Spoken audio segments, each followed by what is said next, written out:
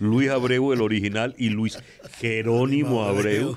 Te pusiste subrayas el Jerónimo para diferenciarte de, este caballero, sí, ¿verdad? Por respeto. Es decir, incluso cuando empezamos a hacer eh, el Club Los Tigritos hace ya muchos años, querían colocarme Luis Abreu porque era más corto y más fácil para los créditos. Y decían, ¿y yo por qué le voy a echar a perder el nombre a ese señor que le ha echado tanto pichón arrancando? Hay una cosa de respeto, pónganme el Jerónimo. Peleé, peleé mucho, logré Luis G. Abreu por lo menos en un principio. Y después ya con el tiempo dije, no, es una condición sine qua non. Este, Te voy a confesar algo. A mí por razones muy semejantes me pasó igual con el César Miguel. Mm. Bueno, ¿quién va a ser la primera pregunta entre ustedes? Los jóvenes primero, o sea que Luis. Eso. La primera pregunta va a hacerla yo. Eh, Luis Jerónimo y yo, eh, como padre e hijo, estuvimos distanciados un largo tiempo y al divorciarme yo de su mamá, su mamá volvió a casarse. Esta experiencia del matrimonio eh, nuevo de su mamá es una experiencia para Luis Jerónimo muy particular y muy importante. Una experiencia que por otra parte yo eh, quiero mucho, aprecio y he respetado con mucha objetividad, creo yo. Este, pero Luis Jerónimo tuvo que enfrentarse a un nuevo señor en la casa, una nueva figura, eh, una figura que se portó con él extraordinariamente bien y que sería como un segundo padre en un buen sentido, no novelesco, no de telenovela, sino en una realidad, una realidad. Mi pregunta sería, eh, ¿cómo hizo Luis Jerónimo para guardar un poco el afecto que tenía por su padre y el afecto nuevo, que siempre era renovador, era importante y era el afecto cotidiano, el afecto que estaba allí en ausencia del otro cariño, del otro amor. A mí me parece interesante, si él ha reflexionado sobre eso, cómo equilibró, cómo llegó un momento de equilibrar esos dos cariños, esos dos amores, que obviamente equilibró, porque ahora lo sentimos, ahora lo tenemos, es más, somos amigos los tres. Fíjate que, no lo sé. Eh, cuando yo hago una regresión en mi vida, este, y cuando me pongo a pensar en los traumas de las personas de hijos divorciados o no divorciados o de crianza o no de crianza. Yo me encuentro en una infancia muy particular, porque más allá del divorcio de mis padres, eh, tenía una mamá muy particular, una mamá que era una mujer muy independiente, muy ella, incluso muchas veces por encima de los hijos, eh, con ganas de comerse al mundo, una gran amiga más este, que madre en muchos momentos, que nunca me generó trauma eh, yo creo que tuve la suerte de tener a este señor llamado Guillermo Carrasco, de padrastro, este, que esa figura paterna no me faltó. Y entendí que tenía dos. Lo entendí como una ventaja incluso. Eh, yo tenía totalmente claro desde, desde niño, no me preguntes por qué esa lucidez a esa edad, porque no lo sé. ¿Qué edad tenías, perdón? y desde que tengo uso de razón, porque Luis y mi mamá se separaron y yo estaba de brazos, cosa que descubrí incluso preguntándole al señor Carrasco en esto, una reunión de almuerzo. O sea, porque yo no recordaba a mi papá en la casa. Cuando tú haces memoria de la familia, yo tengo también la desventaja con las historias familiares que soy el menor de mi mamá. Entonces mi hermano Max se acuerda de muchas más cosas, mis hermanos se acordaban de muchas más cosas. Lo que sí hay, que es muy cierto, hay una, una manera de engrandecer ese amor a Carrasco de alguna manera porque no era su obligación. O sea, porque me, me da una profunda admiración al señor Guillermo Carrasco el hecho de que me quiso como un hijo sin serlo. Entonces, un agradecimiento muy enorme. Y esa relación tampoco duró, ¿no? Sí, duró 18, 19 años. Mi mamá y Guillermo estuvieron casados casi 20 años juntos. Sí, bastante. Mucho tiempo me soltó ya de, de, de adulto. O sea, me agarró de muy niño y me soltó de adulto. Y sigue estando en mi vida, o sea, seguimos viéndonos, comiendo, sigue estando, si a veces tengo algo que preguntarle, le pregunto, alguna decisión, alguna cosa. Este, nunca compitieron esos dos amores, estaban muy claros. Y, cómo se siente Luis Abreu frente a eso? ¿Nunca hubo celos de la figura de Guillermo Carrasco sobre tu hijo? Nunca la tuve. Fíjate, a nosotros nos pasó una cosa muy particular. Cuando Aide y yo nos separamos, eh, fue, fue conflictivo la separación. Este, había muchos celos, había eh, mucho sentido de posesión. Sin embargo, poco a poco fuimos como digiriendo la separación. ella empezó a sentirse más segura y pudimos empezar a tener un acercamiento luego de separados. Ese acercamiento implicó una amistad que parecía que no había terminado nunca, solo que la habíamos postergado. Habíamos postergado la amistad para ser marido y mujer. Habíamos perdido el sentido de la amistad y empezamos a recuperarlo. Una vez que empezamos a recuperarlo, nos ocurrieron cosas muy hermosas. Nos ocurrieron cosas como, mañana eh, estreno tal obra. Supongo que vas a venir. Pues claro que voy a ir. Empezaron a aparecer todas esas actividades que eran afines a los dos y en donde nos necesitábamos, necesitábamos la presencia, ya no como marido y mujer, sino como buenos amigos. Y en esos casos, Guillermo Carrasco no sentía celos. No, nos ocurrió, por supuesto, que me invitó, me invitó mi mujer. Pero hay otra cosa, pero que interrumpa, que también está al otro lado, que apareció al tiempo Mara Teresa Parra, la segunda esposa de mi papá, madre de mi hermano, que también es una madre maravillosa y fue una madrastra ejemplar y maravillosa. Claro, pero antes de eso, fíjate tú que ocurrió lo siguiente. Un buen día, eh, Aide me invitó a una obra de teatro que estrenaba. Y entonces yo le dije, ojo, voy a llevar a una amiga. Es alguien que está saliendo conmigo. Una obra de Aide. De Aide. Y me dijo, claro, por supuesto, ¿cómo no la vas a traer? Tráela. Entonces yo me aparecí con mi amiga, con quien estaba saliendo en ese momento, y le dije, bueno, pero después de la obra, tomémonos algo, comamos algo, conversemos un poquito. ¿Cómo no? Y entonces después de la obra nos encontramos, pero yo venía con un señor que era Guillermo Carrasco. Ah, caramba. Ahora, mira. Pero, trabajaba en la acuerdas, eh, haciendo la obra mi papá y yo, este, que hicimos de tal palo, tal astilla, de nombre del padre, en una función, sin saberlo, aparecieron María Teresa Parra con el novio, estaba la esposa de mi papá, mi papá y Guillermo Carrasco con su eh, esposa actual. Al salir de la obra estaban todos. Decía, esta reunión tenemos que volverla a hacer, pero sentados en una mesa, porque nos hablamos todos como, familia. Yo quiero hacer un paréntesis. A Ideas Caño yo la conocí mucho, de hecho, trabajamos juntos. Cuando yo arranqué Amazonas en 1985, ella estuvo en el, en el equipo de dialoguistas junto con Mariela. Mariela Romero, que, fue una experiencia para mí alucinante. Eh, y bueno, creo que para todos, ¿no? Yo tenía todavía algo de pelo cuando eso. Lo digo para, para rendirle tributo y homenaje y un gran recuerdo a la memoria de Aide, ¿no? Pero en este momento, quien nos esté oyendo en el carro o en su casa dirá, chico, pero estos tipos son locos, Porque... y saben la mitad de la historia. porque déjame decirte, este, los divorciados son muchos. Hijos de divorciados abundan también. Pero lo frecuente es que ese se de su M de que sé que yo no voy a hablar con él y la tal, tal, tal de no sé qué cuánto, más no voy a hablar con ella y el tipo, en fin. ¿Qué le pueden decir ustedes a estos oyentes nuestros en este momento que están desconcertados de ver que Luis Abreu y su hijo Luis Jerónimo Abreu no son venezolanos sino suizos. ¿Cómo, lograron ustedes eso? Pero es que es la mitad de la historia, porque por ejemplo María Elena Ascanio, eh, mi tía, en paz de también se divorció, por ejemplo, y Antonio Gerandi, su primer esposo, iba a la casa a almorzar los domingos con su otra esposa.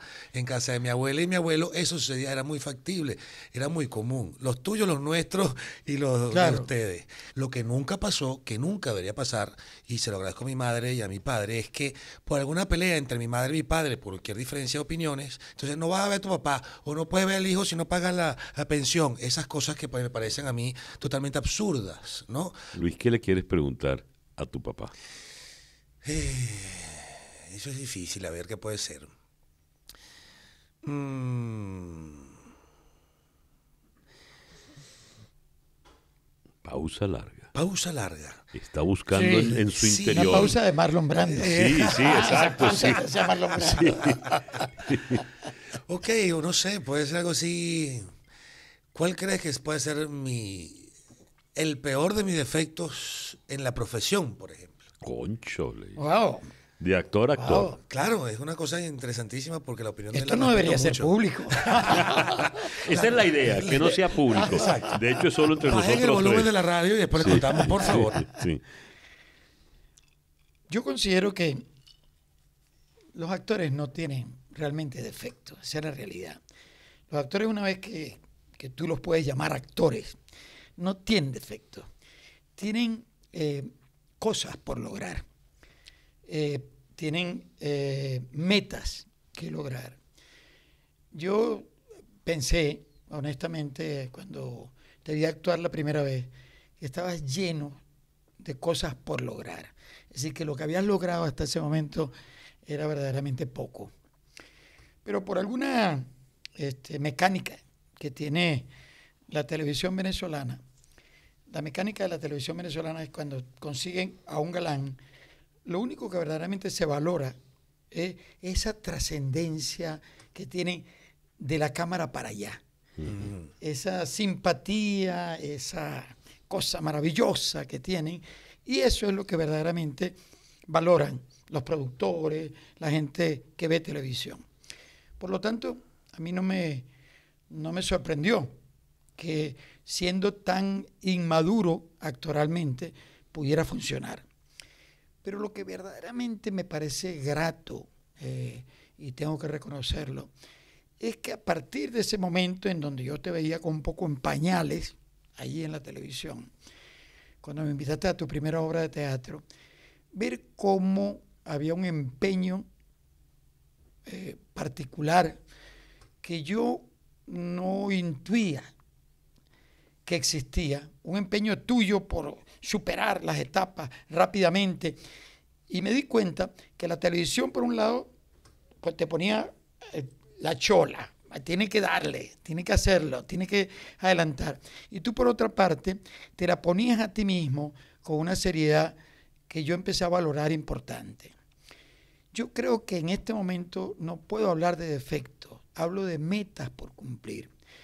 Creo que tú tienes honestamente que enfrentar textos más importantes, sobre todo en el teatro, porque la televisión no te lo va a brindar desafortunadamente. Pero el teatro te puede brindar cosas importantes de verdad, de alto riesgo. Y me gustaría verte allí. Me gustaría tomando riesgo porque estoy seguro que puedes tomarlo. Es más, estoy seguro que no harías eh, vuelta de página, no te irías a otro lado, lo asumirías. Porque yo creo que los altos riesgos te pueden hacer aparecer una cantidad de condiciones que están allí y que no han tenido esa oportunidad, ese momento. El botón tiene que estar allí. Y yo creo que hace falta que tomes riesgo. De ello depende tu crecimiento como actor. Mm, ¿Qué dice Luis Jerónimo?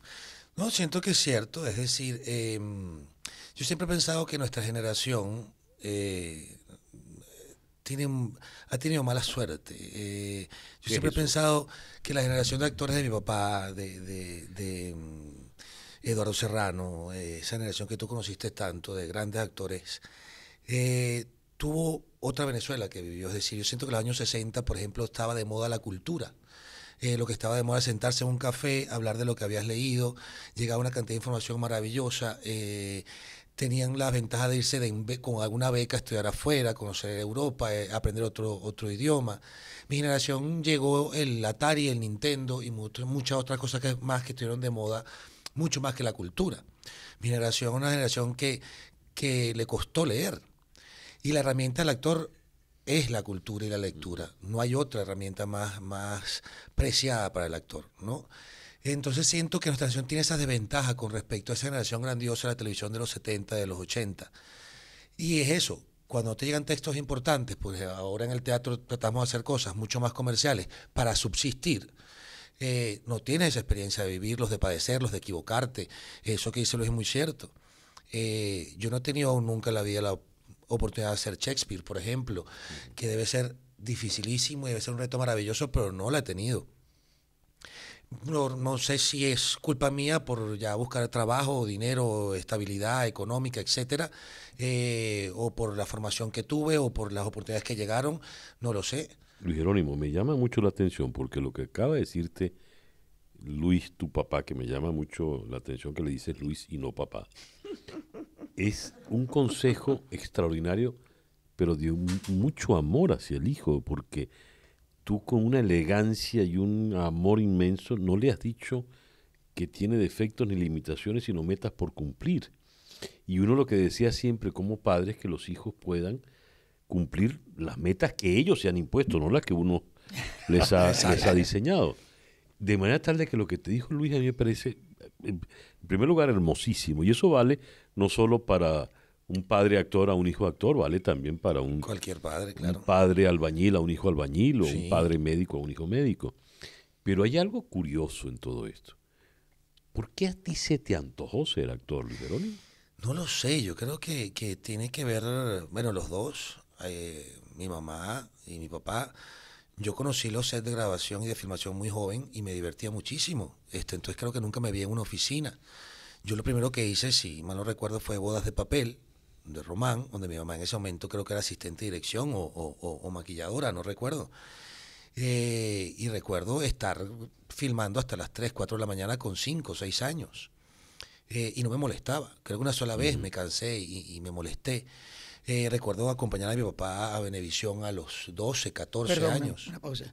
Coincidencia, bodas de papel, la escribí yo. Es decir, yo dejé el guion listo y después José Ignacio Cabruja le dio la vuelta con Román, pero esa fue una idea original de hacerla con Román y una producción en donde estaba José Bardina y estaba eh, habíamos dejado hasta el, hasta el casting. Sí, el elenco era José Bardina y Marina Baura. Pero lo que nunca se me ocurrió es que ese niño que había iba a ser tú. Iba a ser Jerónimo. Claro, mi mamá decía, hay un niño de el hijo de Aide y empujaban al hijo de Aide. Ahora, después de esa observación que te hizo tu papá, tan generosa, de que no tiene defectos sino metas por cumplir. ¿Qué le respondes tú a él? ¿Tú a él lo ves perfecto como actor? Eh, casi. Es decir, yo siento... Yo siento cuando veo, veo. Uy, el momento que tú te pares a abrazar. no, estoy apoyado contra la pared y el micrófono. Hay una cosa que yo he aprendido a decir desde hace mucho tiempo para acá y, siempre trato de decirlo cuando te dicen si te gusta un actor o no te gusta. Yo digo, he aprendido a decir, no me gusta lo que hizo en este caso no puedo decir es mal actor. Igual, como estamos hablando, eh, eh, la actuación es un arte como todo arte es subjetivo. Pero tengo un actor que no me gusta a mí, pero le gusta a 150 personas más. Y también me ha pasado que no me ha gustado un trabajo de un actor y después me ha sorprendido en otra cosa, pero de una manera insólita, después de haber dicho cualquier barbaridad y meterme la lengua donde no pega el sol. Entonces he aprendido a decir, bueno, no me gusta este trabajo de esta persona. Yo de mi papá, este primero le admiro mucho la disciplina que tiene, que la mantiene, que es una disciplina maravillosa. Este, y lo tiene toda esa generación. ¿eh? Sí. Te lo digo yo que trabajé con ellos. Claro. Eh, aparte, puede ser que yo sienta, o que me pasa mucho con los actores, que hay gestos o ademanes que nos pasa a todos los actores que ves repetido en diferentes personajes.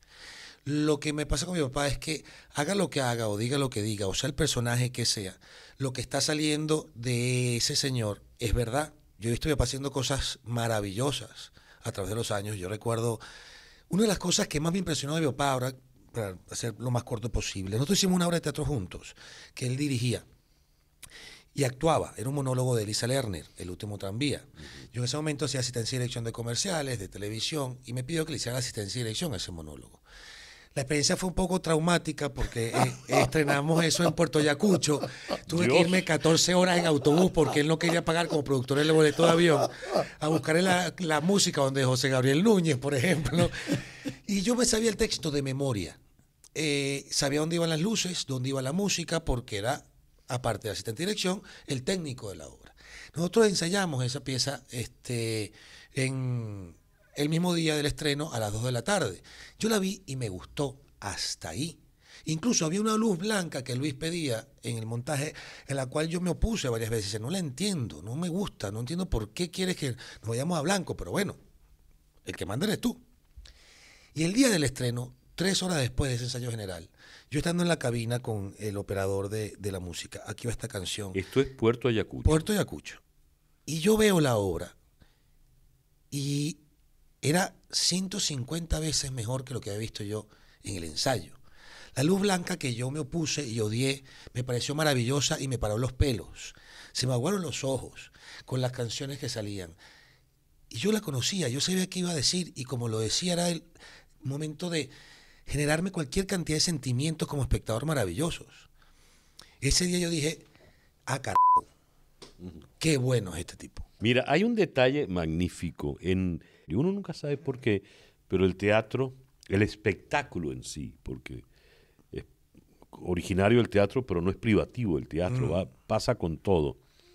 Una vez que se corre y hay un público ahí delante, sale todo siempre maravilloso, ¿no? Entonces, ¿por qué siempre todo sale muy bien?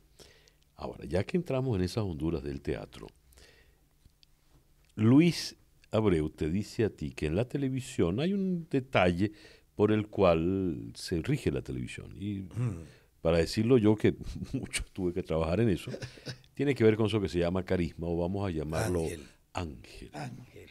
El ángel en el teatro tiene otra denominación y me voy a ir entonces al maestro García Lorca, que escribió magnífico teatro, y es el duende. Luis, tú que has tenido que convivir entre ángel y duende, ¿tú no los puedes explicar a nosotros que no sabemos nada de eso? Bueno, yo creo que yo creo que ambos, ángel y duende, son una manera, una suerte de anzuelo que captura a la audiencia, captura al público. De alguna manera te hace suspender el pensamiento. Es la catarsis en cierta medida cuando es el teatro. Cuando es el teatro, el espectador se sienta y ese duende le hace suspender el pensamiento y hacerle creer la historia que tengo acá. Cuando se trata de la televisión, la televisión viene el ángel precedido por una serie de otras cosas. Viene precedido por una historia que se repite, se repite, se repite y te vende un poco el personaje. Te lo vende de tal forma que no queda la menor duda que cuando esa sonrisa aparece en la pantalla es la sonrisa. Hay una, esa cosa que te precede, que no existe en el teatro. En el teatro, ese duende es un misterio, con toda la razón, que surge solamente cuando hay esa capacidad de público allí. Y además hay una cosa más sorprendente todavía. A veces ese duende no existe para un grupo de espectadores hace falta el amotinamiento de todos esos espectadores para que madure y explote. Y una vez que Por eso nunca una función es igual a otra, ¿no? Por eso no es una igual a otra, pero hay una cosa que sí es importantísima. Una vez que eso explota, el actor tiene que tener la capacidad para aprender ese momento y tratar de repetirlo. Y tratar de repetirlo. El público determina mucho qué es lo que va a ocurrir con ese personaje en el teatro. El público lo marca, el público lo hace explotar, es el público el que lo declara. Y a partir de ese momento tú tienes que aprender ese personaje allí. Es como una suerte de costurera. Esas costureras que bastean el ruedo. Es decir, cuando te dicen, hasta aquí llega el ruedo, inmediatamente tú empiezas a poner los alfileres rápidamente para que en la próxima función ese hilván no se baje. Eso es muy importante. Lo que no ocurre en la televisión. La televisión viene esa imagen precedida por una historia, bueno, tú lo sabes, por una historia que te va vendiendo. Yo recuerdo muchos autores de televisión que siempre te dicen, oh, no, no, no, no. Yo no puedo hacer aparecer a mi galán de esta manera, no, no, no. no. El galán tiene que aparecer en un momento determinado. Cuando yo lo presento, tiene que aparecer en ese momento y no en otro. No puede ser igual que la actriz no puede aparecer sino en este momento. Son, de alguna manera, eh, una fórmula. Fórmulas, sí, fórmulas químicas, pero son químicas porque hacen valer la química del actor. Hay otra cosa de las telenovelas que a veces, eh, estás conversando, estábamos hablando, que ahora tienes un enemigo que no tienes en el cine o en el teatro, que es el control remoto. Es decir, cuando tú vas a ver una película, tú puedes desarrollar un personaje de principio a fin y sorprender al final con una gran escena porque sabes que la tienes a la gente encerrada esa hora y media en esa sala.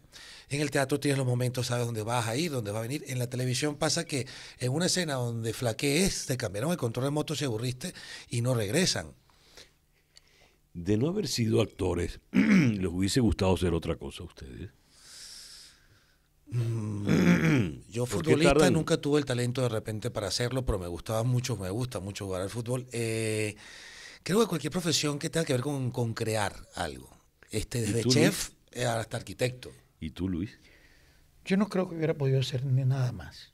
A ver, estamos acercándonos al final de esta conversación. Tu papá comenzó con una pregunta durísima, ¿verdad? Sobre el tema del, divorcio y tal. Ajá. ¿Ya eres papá, Luis Jerónimo? Estoy en la espera. Mm, ¿Y va a ser actor? ¿Tú quieres que sea actor? Eh, quiero que sea feliz, indudablemente, quiero que sea feliz. Eh, no sé si, si quisiera que fuera actor. Es una carrera, yo creo que es una de las carreras más ingratas que hay en, el planeta. ¿Por qué tan ingrato ser este, Ingrata no, creo que bueno, eh, es una de las pocas carreras que entre más experiencia tienes, menos dinero ganas, por ejemplo. Pasas de moda. Brad no va, pa, no, no, no, eso. en nuestro mercado, está de acuerdo contigo. en nuestro mercado. Creo que, que esas carreras donde este, vale más el negocio, cada vez lo veo más. Vale más el negocio que el talento o este, la calidad de los productos. Yo creo que sea feliz. Si quiere ser actor, por supuesto que lo apoyaré. Espero que aprenda a hablar inglés, no cometa los errores que yo cometí y estudie en Nueva York y trabaje con Brad Pitt para que tenga una carrera longeva. Cuando yo le escribí a mi papá una carta que él estaba en Buenos Aires, Argentina, viviendo, diciendo que quería ser actor porque iba a ser la primera telenovela en Venevisión, eh, la respuesta de él fue: No estoy muy de acuerdo, eh, pero no puedo hacer nada porque estoy lejos. Y el consejo que te puedo dar es: este, bueno, llega temprano y con la letra aprendida. Mm. Eh, eso fue por carta cuando existía Postel. Este, eh, yo no sé, yo no sé cómo voy a ser como padre. Este, es una de las cosas que más ocupó el cerebro en estos días. Pero siento que si decide hacerlo, no, jamás le diré que no. Eh, le advertiré, trataré de que lo haga mejor que yo, mucho mejor que yo, y estaré. No queda otra. ¿Quieres que te diga una cosa? Yo sí sé ¿Cómo vas a ser como padre?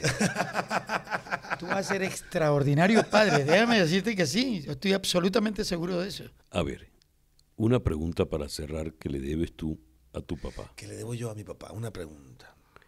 Lo que siempre quisiste saber y nunca te atreviste. Oh, pues, cuidado. Es una ida negro. ¿ah? Después de comerciales. Eh, no sé, ¿qué podría ser? Ok, de próximo padre a, padre. Como padre, ¿de qué te arrepientes en la vida? Fíjate tú, em, yo creo que yo fui un padre egoísta. ¿En qué sentido? Eh, creo que llegó un momento en mi vida en que mi carrera era, era terriblemente importante. Eh, yo acepto desafíos.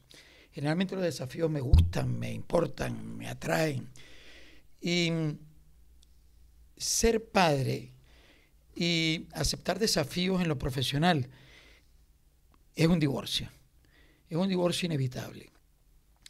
Yo creo que me arrepiento muchísimo de algunos desafíos que no tuvieron entre comillas, éxito.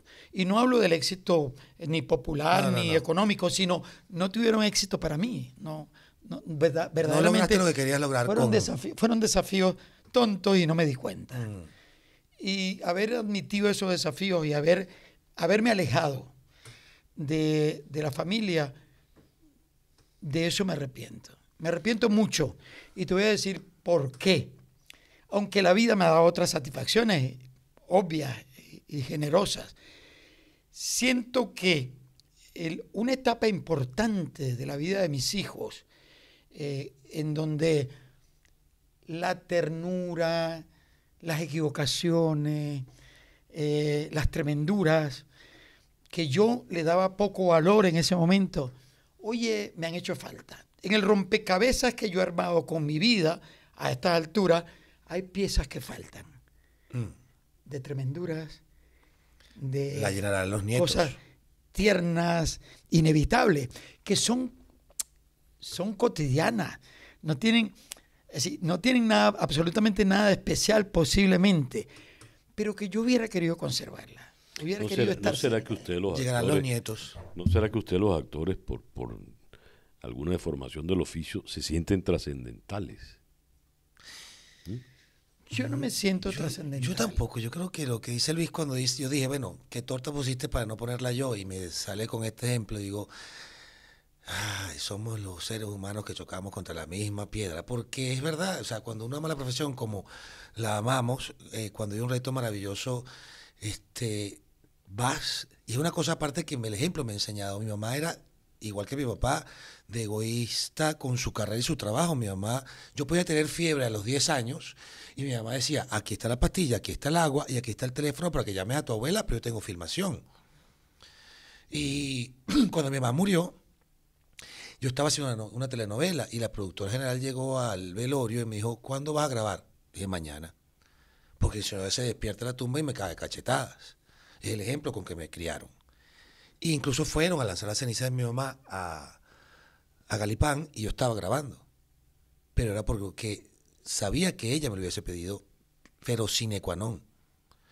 Y es una manera como me criaron. Claudia me lo dice muchas veces, es decir, pero tú te ocupas más del trabajo que muchas otras cosas. Eh, eh, he sido así. Yo soy mucho más responsable con los terceros que conmigo mismo.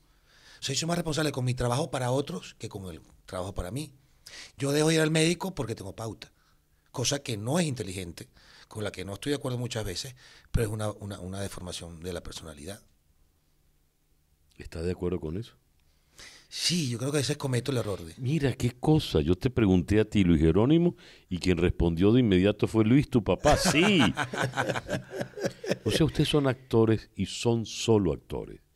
Y son parte. magníficos actores. Gran parte somos actores. Yo les agradezco inmensamente que hayan venido hoy, padre e hijo, y grandes actores, a desnudarse como pocas veces hacen los actores, porque los Exacto. actores Bueno, pero puede viven de cubrirse. desnudarnos ¿no? acá debe haber una fiesta. ¿no? Bueno, eso lo veremos luego. Muchísimas gracias al gran Luis Abreu y a su hijo Luis Jerónimo Abreu, Gracias que cumplirá sus metas todas, tal como se lo ha dicho su padre. Gracias será. a ti. Mil gracias, por haber venido. Otra Gracias a ustedes.